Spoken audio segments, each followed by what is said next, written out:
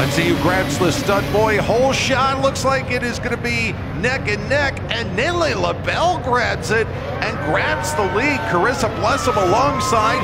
Malene going to the outside. Look at Malene just put the power down.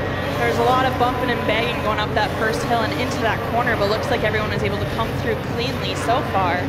Heading down the hill already. Malene's out in front. Carissa in second. Looks like Inanna made her way to that third place with Niley in fourth already. So Malene Cadieux holding on to about a 1.8 second lead right now over Inanna Hauger and Carissa Blessom, followed by LaBelle and uh, McKenna on the 199, rounding out the top five.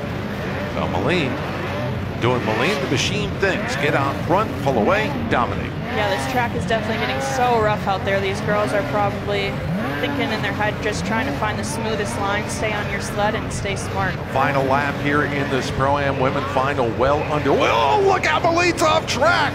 Malene Cadieux out of the core RV corner. Does she get back with the lead? No. Inanna Hauger takes over the number one spot. It's on with a third of a lap to go. She's trying to get around that lapper and just could not make it happen clean and ended up going off the track. But let's see what she can do in this very little short amount of time. And Inanna Hauger might have had one obstacle. It was the lapper. She clears. She hits the U.S. Air Force flyaway. Malene's putting the hammer down. Is she going to get there? Malene makes the move and wins the race anyway.